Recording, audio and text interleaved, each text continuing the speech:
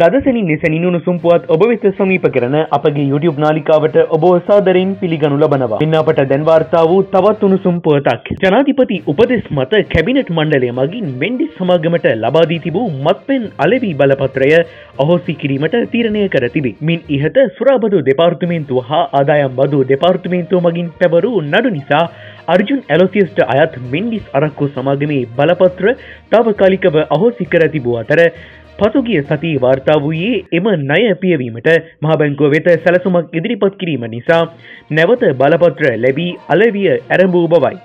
නමුත් එම අනුමැතිය ලබාදීම මුදල් ඇමති වූ ඇමතිවරයා හෝ ජනාධිපති දැනුවත්ව නොසිටි බවත් ඊයේ වාර්තාාවී තිබූ අතර පසුව රජය සතු බලපත්තල මගින් එම බලපත්‍ර මුළු මනින්ම අහෝසි කර දමා ඇත. මෙබ යුණුසුම් පුවත් ලදසැනි නිසනින් දැනගැනීමට අපගේ YouTube නාලිකාව සබස්ක්‍රයිබ් කොට සීනෝ බොත්තම ක්‍රියාත්මක කරන්න.